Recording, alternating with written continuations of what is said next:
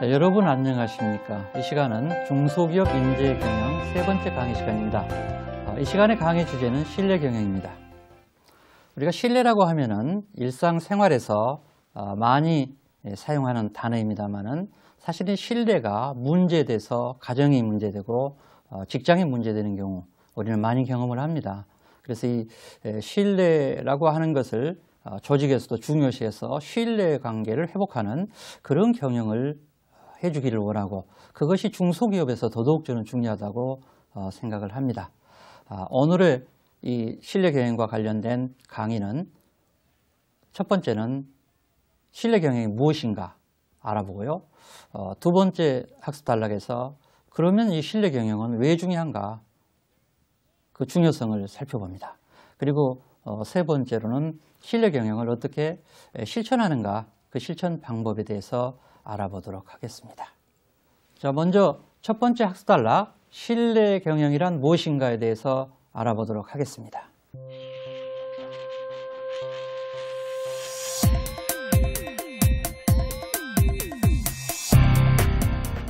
신뢰 경영은 신뢰 관계를 상하 간에 확실히 구축하는 경영을 얘기를 하고 그 창시자는 로버트 레버링입니다. 그래서 로버트 레버링에 의해서 창시된 이 신뢰 경영이 상하 간의 이 신뢰를 어떻게 구축할 것인가 아, 그런 측면에서 관심을 갖고 또 신뢰 수준이 실제로 어느 정도인가를 측정하는 여러 가지 측정 도구도 만들었고 그래서 포천 100대 기업들이 정말 경제적 성과를 낼 것은 결국은 이런 신뢰 관계가 또 어, 일터의 그 질이 높기 때문이다라고 하는 것을 밝혀내고 있는데요. 신뢰 경영은 무엇인지에 대해서 어, 구체적으로 살펴보도록 하겠습니다. 자, 신뢰 경영에 대해서는 trust, pride, fun 이 세 가지 개념을 얘기를 해야 합니다. 그래서 trust, pride, fun 이 신뢰와 자긍심과 그 다음에 재미 이 세 가지 요소가 신뢰 경영의 중심인데요. 음, trust는 상하 간의 신뢰입니다. 그래서 상하 간의 신뢰가 형성이 되어 있느냐 하는 것을 먼저 보고요. 두 번째는 pride. 어, 실제 그 조직 구성원으로서 정말 자긍심, 자부심을 어, 가지고 있느냐를 어, 측정하고요.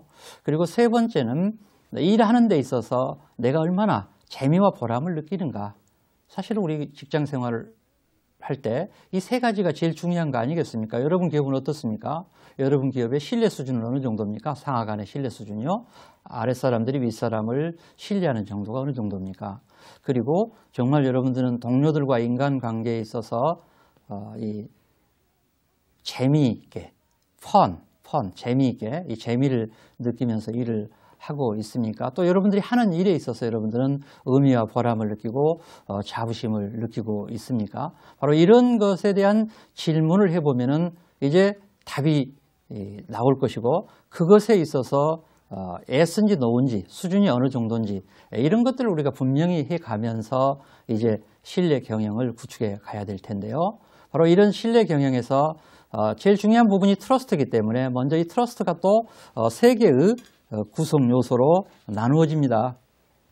이 trust가 단순하게 상하 간의 신뢰 이렇게 얘기하기는 어렵고요. 상하 간의 신뢰가 형성되도록 하기 위해서는 앞에서 우리가 얘기했던 그 인간 존중 경영을 해줘야 되는데 그 인간 존중 경영 측면에서 이 트러스트의 수준을 측정하는 세 가지가 첫째는 진실성입니다.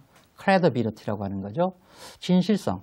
즉 아랫사람들이 윗사람을 믿을 수 있는가, 아, 신용할 수 있는가, 또 성실한가 윗분들이 이런 것들을 크레더비리티, 진실성으로 어, 평가를 하는 항목이 있고요.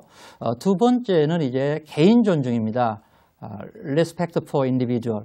과연 그 어, 개인들이 우리 경영자가 나를 존중해 준다고 믿는가? 어느 정도 존중해 준다고 생각하는가?